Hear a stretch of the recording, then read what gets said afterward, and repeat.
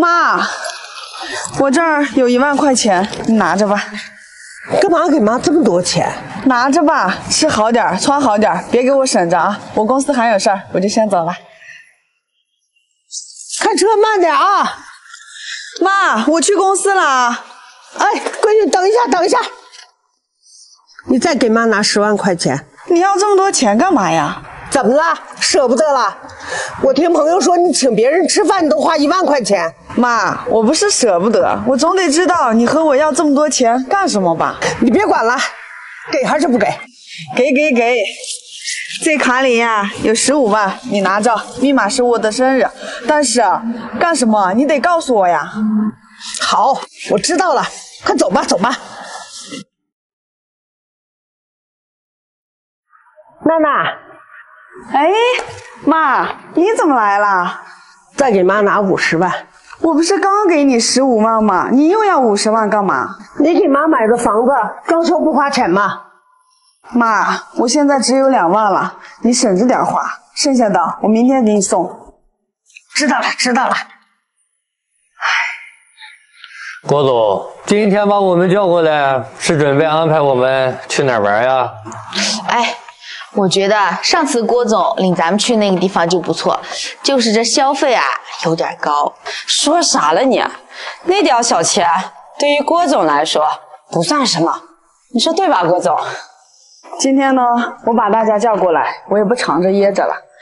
我的公司财务出现点状况，我想让你们帮我渡过难关。平时我也没少帮你们，这次需要的钱也不多，就五百万。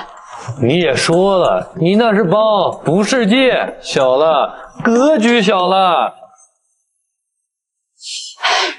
郭总，哎呀，实在太不巧了，我前段时间刚买了一套别墅，手里正好也没钱，我帮不了你。哎，郭总，我突然想起来，我还有点事儿，我就先走了。郭总，你看我这不当家不做主的。我得回去和我老公商量一下，等我啊！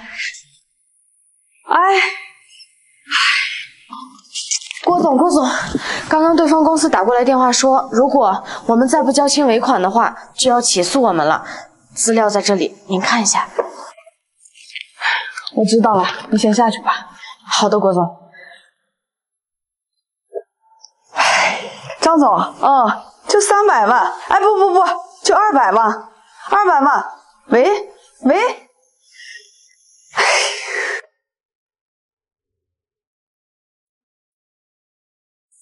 娜娜，哎，妈，你怎么来了？娜娜，你最近怎么瘦成这样，这么憔悴？没事儿，妈，昨天晚上呀，我熬夜了。哦，那你再给妈拿十万。妈，你又要这么多钱干什么呀？你就别管了，妈有用。妈，你再不告诉我你用这么多钱干嘛，我就不给你了。你是没钱了吧？我就是再有钱，也不能让你这样乱花呀。你打算撑到什么时候呀？来，这卡里有二百万，这都是平常你孝顺妈的，妈都给你攒着呢。还有，这卡里有三百万。妈把房子卖了，什么？你把房子卖了？那你卖了房子，你和爸住哪儿呀？你别管了，我和你爸就住老房子去。那老房子能住人吗？那老房子都快塌了，怎么住不成？只要有妈在，住哪儿都是家。来，拿着。妈，姑娘，人生没有过不去的坎儿，妈相信你。送你三月的风，六月的雨，九月的风起，大雪漫天飘零。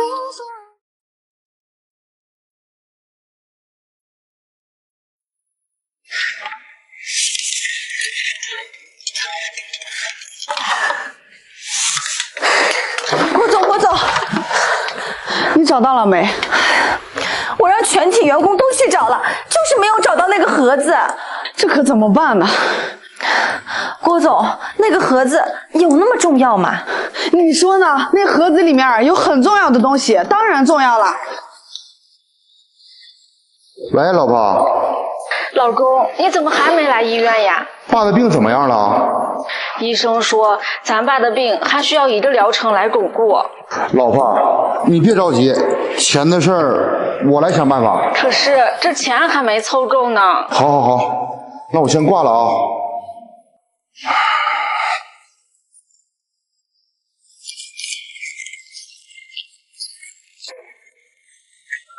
郭总，郭总，我想起来了，今天早上你让我把没用的废纸盒给那个收废品的，那个绿色的盒子就在那里边。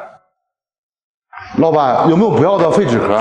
我告诉你，别在我们公司门口收这些破烂玩意儿。哎，你看那个大哥真可怜，听说他家里人有人生病了，哎，这靠卖废品呀，什么时候能筹到钱？哎，太可怜了。走吧，大哥，给你废纸箱子。谢谢，谢谢。大玲，把咱们公司的废纸箱子呀，都拿给这个大哥。好的，郭总。走吧。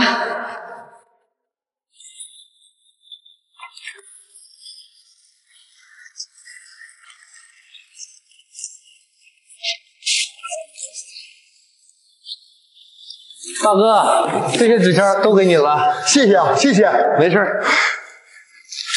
对对对，就是他，我们赶紧走。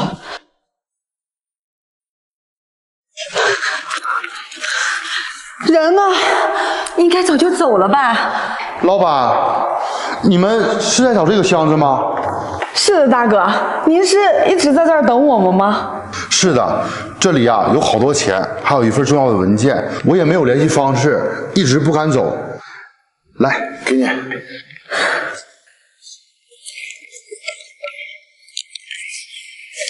来，大哥，这几万块钱您拿着。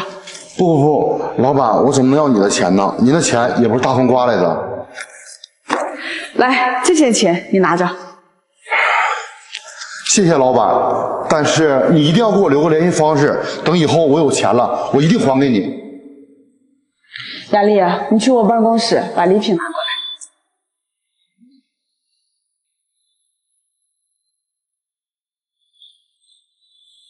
郭总，这是您要的礼品。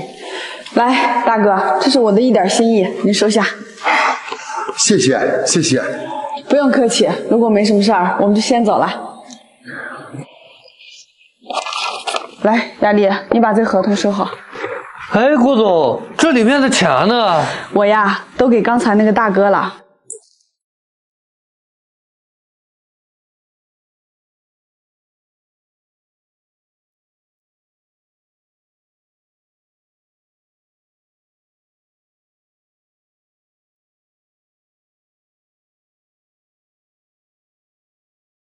大玲，你知道吗？刚才那位大哥呀，在他最困难的时候、最需要钱的时候，他意外的发现了这个盒子，里面含有那么多现金。如果换作是你，你能经受住这么大的考验吗？郭总，说实话，我不能。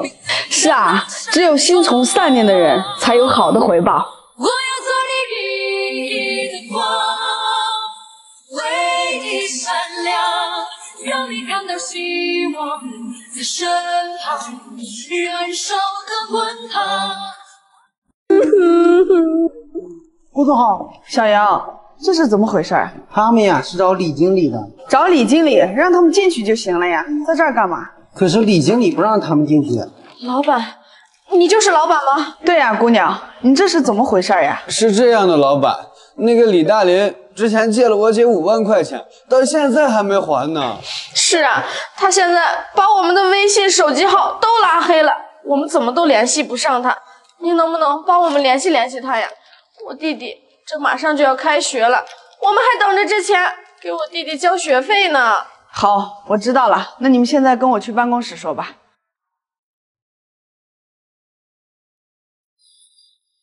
来，请坐。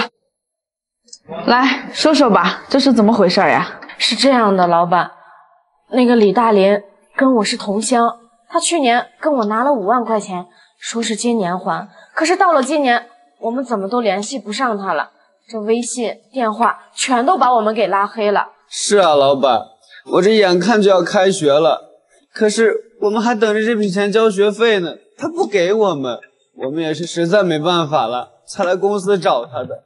可是我们已经在门口等了他好几个小时了，保安也不让我们进。你们的事情我大概已经了解了，这样你们都不要着急，我现在给他打个电话。吃苹果，不吃不吃。对了，给你订那个车马上就回来啊。太好了吧？喂，郭总，李经理，你现在来趟我办公室。我没在公司啊，我在外边考察市场呢。我不管，你现在立刻马上给我过来。如果十分钟之内你要是过不来，以后别来了。好吧，好吧，等我一会儿啊。你们稍等一下，他马上就过来。郭总，你这么着急找我干嘛？我还在外边考察市场呢。李经理，你认识他们两个吗？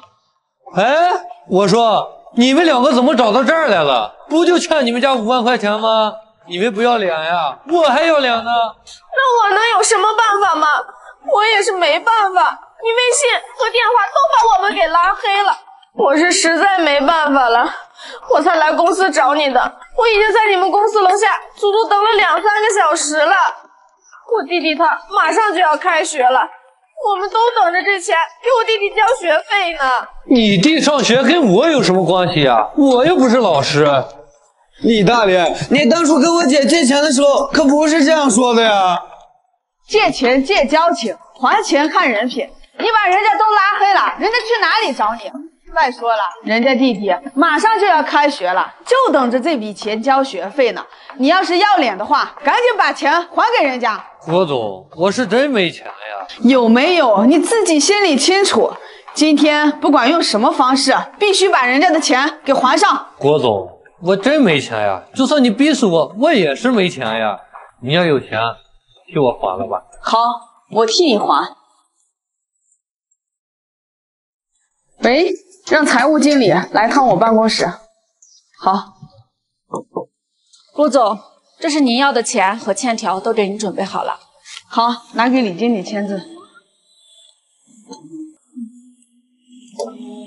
行，你先下去。来，小姑娘，这些钱你们拿着。谢谢老板，谢谢。不客气，赶快去把弟弟的学费交了吧。